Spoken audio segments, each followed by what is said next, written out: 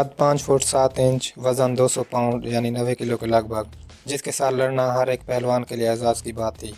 جو بھی پہلوان ان سے لڑتا کتابوں میں امر ہو گیا۔ اس کی طاقت اور پھرتی کی وجہ سے رستم زماں اسٹینس لیاس زبسکو نے انہیں ٹائیگر کا کتاب دیا۔ یہ بات انیس سو دس کی ہے جب گاما پہلوان اور Stanislaus Zbyszko world championship کے لیے آمنے سامنے ہوئے۔ ہندوستان میں English wrestling promoter R B Benjamin نے ایک ہندوستانی پہلوانوں کی ٹیم تشکیل دی، جنہیں وہ یورپ لے جا کر ان کے فن کو رکھنا چاہتے تھے۔ اس ٹیم میں چیمپئن انڈیا گاما پہلوان، چیمپئن لاہور امام بخش پہلوان، چیمپئن پنجاب احمد بخش بکھی والا چیمپئن جلندھر گامو پہلوان شامل تھے۔ یہ ٹیم اپریل کے مہینے میں بذریعہ ٹرین فرانس روانہ ہوئی۔ وہاں جا کر انہوں نے وہاں کے مقامی پہلوانوں کو چیلنج کیا۔ تو پتہ چلا وہاں کے تقریباً سارے پہلوان انگلینڈ چلے گئے ہیں، جہاں پر ورلڈ چیمپئن شپ شروع ہونے والی تھی۔ یہ ٹیم کچھ دن فرانس رہنے کے بعد وائٹ سٹی لندن پہنچ گئی۔ وہاں پر شیفرڈ بو اسٹیڈیم میں جون بل بیلٹ کی نمائش کی گئی اور جاپانی اور انگلش پروڈکٹس کی پروموشن بھی کی گئی۔ وہاں پر ایک کمیٹی کی تشکیل دی گئی، جس میں اس دور کے رستم زماں اسٹینسلیس بسکو رستم لندن ہیکسن سمتھ اٹلی کے جان لیم اور رستم اسکار لینڈ کھنڈری شامل تھے۔ انہوں نے اس ایونٹ میں شامل ہونے کے لیے ہر ایک پہلوان کے لیے ہیوی ویٹ ہونا لازمی قرار دے دیا گیا۔ اس طرح گاما پہلوان انڈر ویٹ ہونے کی وجہ سے کے لیے نااہل قرار دیے گئے گاما پہلوان نے اپنے مینیجر بینجمن کو بلا کر انہیں اخبار میں یہ شائع کروانے کے لیے کہا کہ میں گاما پہلوان تمام پہلوانوں کو چیلنج کرتا ہوں۔ جو بھی پہلوان میرے سامنے پانچ منٹ تک ٹک گیا اس کو پانچ پاؤنڈ کا انعام دوں گا۔ اس طرح جب یہ اخبار ایک بزنس مین کے سامنے سے گزرا، تو وہ گاما پہلوان کے پاس آیا اور ایک پیشکش کی کہ اگر آپ اپنی کشتیاں میرے تھیٹر میں لڑیں، تو میں اڑھائی پاؤنڈ انعام ہفتے کا دوں گا اور ساتھ میں کشتی لڑنے کے لیے آپ کو ایک بنا بنایا گراؤنڈ بھی دوں گا۔ گاما پہلوان نے ان سے پوچھا کہ آپ کو میری کشتیوں سے کیا فائدہ ہوگا؟ تو اس نے بتایا کہ میں مفت خوری کا قائل نہیں ہوں۔ آپ کی کشتیاں دیکھنے کے لیے جو لوگ آئیں گے، میں ان سے ٹکٹ وصول کروں گا۔ طرح ایک پولینڈ کا ہیوی ویٹ چیمپئن جو کہ گاما پلوان سے 54 پاؤنڈ زیادہ وزن میں تھا، وہ گاما پلوان کے سامنے آیا۔ وہ دو منٹ میں چت ہو گیا۔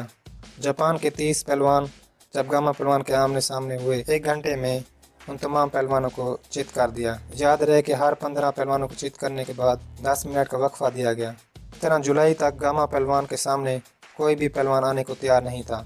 لوگوں میں قیاس آرائیاں شروع ہونے لگی کہ ایک پہلوان جو تمام پہلوانوں کو چت کر چکا ہے، اسے ورلڈ چیمپئن شپ میں حصہ کیوں نہیں لینے دیا جا رہا؟ تب کمیٹی نے گاما پہلوان کو ٹورنامنٹ میں شامل ہونے کے لیے بلایا۔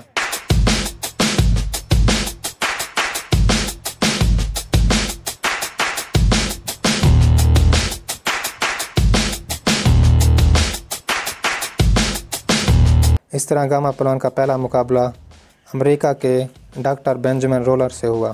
اس طرح گاما پلوان کی پہلی fight eight August nineteen ten یعنی آٹھ اگست انیس سو دس کو پہلی کشتی بینجمن رولر سے ہوئی۔ یہ کشتی کیچ ایز کیچ کین کے طرز کی تھی، جس میں بیسٹ آف تھری فال کرنے تھے۔ یعنی اس کشتی کے تین راؤنڈ تھے اور ہر راؤنڈ کے ختم ہونے پر دس منٹ کا وقفہ دیا جاتا۔ اس طرح گاما پلوان نے انہیں اپنے پسندیدہ داؤ پٹ کھینچ کر گراؤنڈ سے باہر گرا دیا اور تیزی سے اس کے اوپر جھپٹے۔ اس طرح وہ ایک منٹ اور چالیس سیکنڈ میں چت ہو گیا۔ اس دوران اس کی دو پسلیاں بھی ٹوٹ گئی دس منٹ میں دوسرا راؤنڈ شروع ہوا تو وہ محتاط ہو کر لڑنے لگا۔ اور گاما پلوان نے ٹنگی کا داؤ لگا کر اسے نو منٹ بعد چت کر دیا۔ اس طرح تماشائیوں میں اسٹانلیس دبس کو بھی یہ میچ دیکھ رہے تھے۔ وہ گراؤنڈ میں آئے اور انہوں نے گاما پلوان کو مبارکباد دی اور یہ طے ہوا ٹین ستمبر نائنٹین ٹین یعنی دس ستمبر انیس سو دس کو اسٹینلیس زبیسکو با مقابلہ گاما پہلوان ہوگا یہاں پر آپ اسٹینلیس زبیسکو کا تھوڑا سا تعارف کرا دیں اسٹینلیس زبیسکو نے یونیورسٹی سے ایک لا اور فلاسفی کی ڈگری بھی حاصل کی ہوئی تھی وہ سات زبانوں کا ماہر تھا اس کا قد پانچ فٹ آٹھ انچ اس کا وزن دو سو چالیس پاؤنڈ بائی سیپ کا سائز بیس انچ کی چھاتی ففٹی ایٹ انچ کمر چالیس انچ اور اس کی تھائی کا سائز ٹوئنٹی ایٹ انچ یعنی اٹھائیس انچ تھا۔ ٹین ستمبر نائنٹین ٹین یعنی دس ستمبر انیس سو دس کو گاما پلوان اور زبسکو پلوان کا مقابلہ شروع ہوا۔ اس دن سارے پہلوان اور لوگ بوش اسٹیڈیم میں جمع ہوئے۔ یہ میچ تین بجے شروع ہوا۔ دونوں پہلوانوں کی ہاتھ جوڑی ہوئی۔ کچھ ہی دیر میں گاما پہلوان نے ایک داؤ لگا کر اسے نیچے گرا لیا۔ اس طرح وہ تیس منٹ تک ڈیفنس پوزیشن میں بیٹھا رہا۔ گاما پہلوان نے تھوڑی سی گرفت ڈھیلی کی تو وہ اسی انتظار میں بیٹھا تھا۔ اس نے ایک یونانی داؤ لگا کر گاما پہلوان کو نیچے رکھ لیا۔ اب زبیسکو پہلوان اوپر اور گاما پہلوان نیچے تھے۔ تین منٹ بعد گاما پہلوان ان کی گرفت سے نکلے۔ پھر گاما پہلوان نے ان کے پاٹ کھینچ کر دوبارہ انہیں نیچے رکھ لیا۔ دوبارہ وہ ڈیفینسو پوزیشن میں بیٹھ گیا۔ گاما پہلوان نے دوبارہ اپنی گرفت ڈھیلی کی تو دوبارہ وہ کھڑا ہو کر تابڑ توڑ حملے شروع کر دیا اس نے۔ اور گاما پلوان کو دوبارہ اپنے نیچے رکھ لیا۔ اس طرح گاما پلوان تین منٹ بعد دوبارہ اس کی گرفت سے نکلے۔ اس کے بعد گاما پلوان نے دوبارہ اس کو زمین پر نیچے رکھا اور اب وہ ڈیفنس پوزیشن میں بیٹھا رہا۔ کافی دیر بیٹھنے کے بعد لوگوں نے نعرے لگانا شروع کر دیا کہ گیٹ اپ زبیس کو۔ گاما پلوان نے اپنی گرفت چھوڑ کر اسے کھڑے ہو کر لڑنے کو کہا، لیکن وہ لیکن وہ اٹھنے کو راضی نہ تھا۔ جب ریفری کے کہنے پر وہ اٹھا، گاما پلوان اس کے قریب جاتے تو وہ دور بھاگتا۔ جس کا ذکر اس نے بعد میں اپنے ایک انٹرویو میں کیا کہ جتنا میں گاما پلوان سے دور بھاگتا اتنا محفوظ رہتا۔ قریب ہونے پر وہ مجھ پر حاوی ہو جاتا۔ اس طرح وہ دوبارہ رنگ میں آ کر بیٹھ گیا۔ پھر گاما پلوان نے دیسی داؤ لگایا، اپنا گھوڑا اس کی گردن پر رکھ کر اسے زور دیا اور پندرہ منٹ تک وہ گاما پلوان کے گھوڑے کے نیچے رہ کر برداشت کرتا رہا۔ آخر کار وقت بہت گزر چکا تھا۔ اس نے ریفری کو بلا نے کہا کہ جناب میں تھک چکا ہوں میں یہ میچ اگلے ہفتے لڑوں گا۔ کمیٹی نے فیصلہ کیا کہ یہ match seventeen September ninety ten یعنی سترہ ستمبر انیس سو دس کو دوبارہ اسٹیڈیم میں شروع کیا جائے گا۔ اس طرح دوسرے دن اس کشتی کا دوران یا دو گھنٹے چونتیس منٹ اخباروں میں لکھا گیا۔ سترہ ستمبر انیس سو دس کو دوبارہ میچ شروع ہوا گاما پہلوان گراؤنڈ میں پہنچ گئے اور سلامی دی۔ اس طرح دونوں پہلوانوں کو رنگ میں آنے کی دعوت دی گئی۔ گاما پلوان اپنے جوتے اتار کر رنگ میں پہنچ گئے۔ زبیسکو کو بار بار بلایا جا رہا تھا، پر ان کا کوئی جواب نہیں موصول ہو رہا تھا۔ جب لوگوں سے پتہ چلا کہ وہ ملک چھوڑ کر پولینڈ واپس چلے گئے ہیں تو کمیٹی ناراض ہو گئی اور انہوں نے زبیسکو پلوان کو انگلینڈ میں کشتی لڑنے پر پابندی لگا دی۔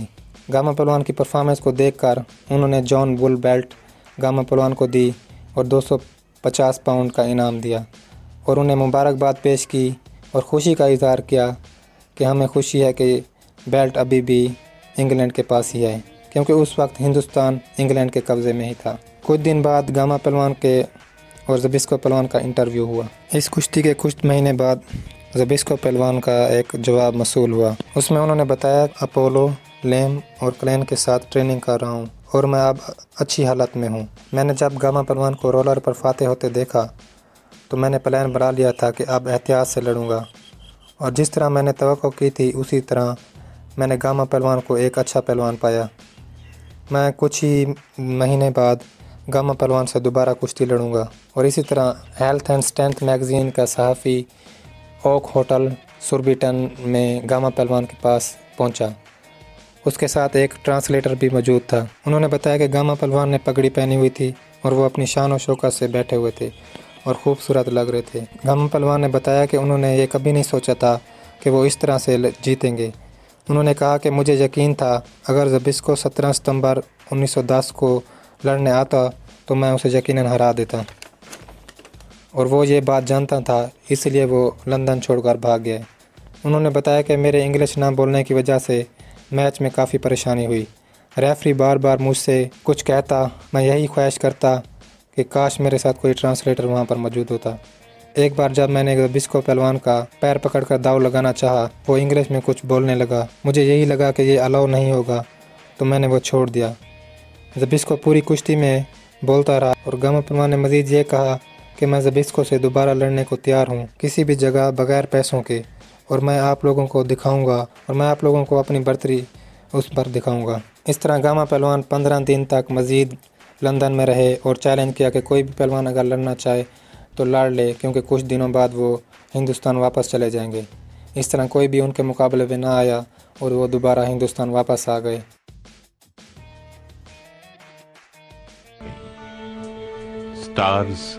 never die. They fade out. کسان کا شاہ زوراں پلوانہ سونا کسانوں کا شاہ زوران کا پلوانا کا جگ سارا لو